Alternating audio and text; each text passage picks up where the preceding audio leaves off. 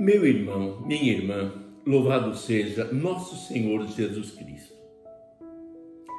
Quando passar esta pandemia do coronavírus, e espero que passe logo, vai, vamos ter que refletir sobre tudo aquilo que vivemos. Não podemos perder essa experiência. Temos que fazer aquilo que Nossa Senhora fazia diante de situações que ela não compreendia em todas as suas dimensões. Guardava tudo no coração, meditando sobre aquele material, aquele acontecimento, aquela experiência.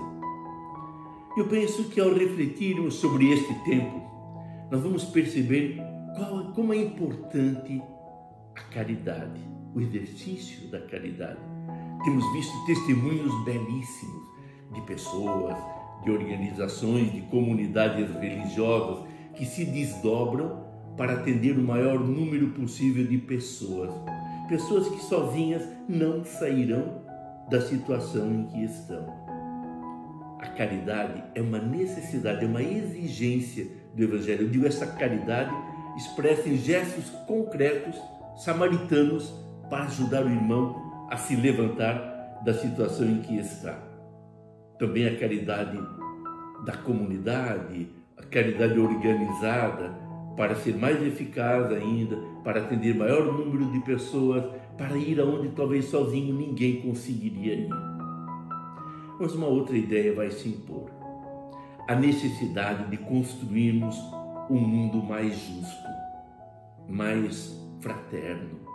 Não é possível um mundo onde multidões vivam aqui em nosso país ou outros continentes em situações tão precárias, tão desumanas. E parece que a gente acabou convivendo pacificamente com isso, como se isso fosse normal, como se fosse culpa deles estar nessa situação, prostrados à beira da estrada e à beira da vida. Não, Deus não quer isso.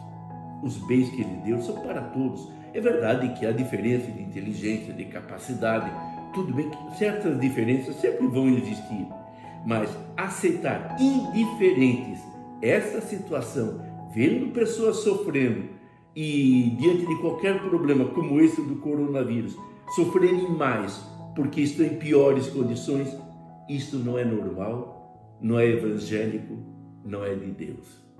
Certamente a dimensão social da igreja e da sociedade vai se fortalecer muito mais após essa experiência da, do coronavírus. E aí, se aprendermos essas lições, tudo isso que estamos sofrendo não terá sido em vão. Que Deus nos ilumine. Fique com Deus.